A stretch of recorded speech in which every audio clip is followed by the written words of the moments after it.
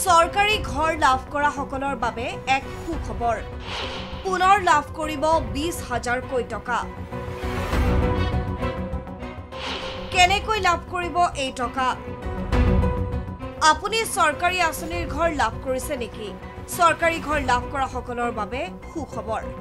প্ৰধানমন্ত্ৰী আৱাস যোজনা চমুকৈ P M A ৱাইৰ ঘৰ লাভ কৰাসকলে পুনৰ লাভ কৰিব বিছ হাজাৰকৈ টকা। কেনেকৈ লাভ কৰিব এই টকা এই মুহূৰ্তত বিস্তৃতভাৱে জনাম। দুহেজাৰ বাইছ বৰ্ষত চৰকাৰী ঘৰৰ বাবে এক লাখ ত্ৰিছ হাজাৰকৈ টকা লাভ কৰাসকলে পুনৰ বিছ হাজাৰকৈ ধন লাভ কৰিব চৰকাৰৰ তৰফৰ পৰা। আবেদনকাৰীসকলে দ্বিতীয় কিস্তি লাভ কৰাৰ পিছত লাভ কৰিব এই টকা। আবেদনকাৰীসকলে জমা দিব লাগিব গুৰুত্বপূৰ্ণ নথি bank account Aadhaar card job card. যোগাযোগ কৰিব লাগিব জি আৰ এছ অথবা পঞ্চায়ত সভাপতিৰ সৈতে। দৰিদ্ৰ সীমাৰেখাৰ তলৰ জব কাৰ্ড থকা লোকসকলে এই সুবিধা লাভ কৰিব। এতিয়ালৈ যোগাযোগ নকৰা লোকসকলে যোগাযোগ কৰিব পাৰিব পঞ্চায়ত সচিব অথবা পঞ্চায়ত সভাপতিৰ সৈতে। Digital desk D Y three six five.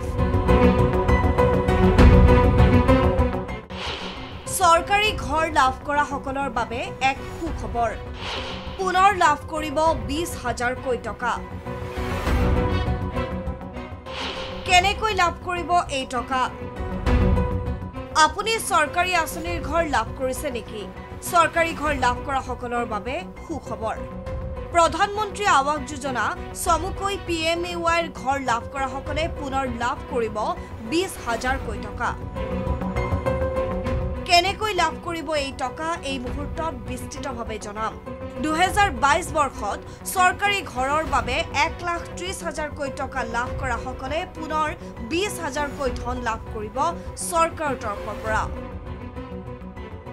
আবেদনকাৰীসকলে দ্বিতীয় কিস্তি লাভ কৰাৰ পিছত লাভ কৰিব এই টকা। আবেদনকাৰীসকলে জমা দিব লাগিব গুৰুত্বপূৰ্ণ নথি bank account Aadhaar card job card. যোগাযোগ কৰিব লাগিব জি আৰ এছ অথবা পঞ্চায়ত সভাপতিৰ সৈতে। দৰিদ্ৰ সীমাৰেখাৰ তলৰ জব কাৰ্ড থকা লোকসকলে এই সুবিধা লাভ কৰিব। এতিয়ালৈ যোগাযোগ নকৰা লোকসকলে যোগাযোগ কৰিব পাৰিব পঞ্চায়ত সচিব অথবা পঞ্চায়ত সভাপতিৰ সৈতে। Digital desk D Y three six five.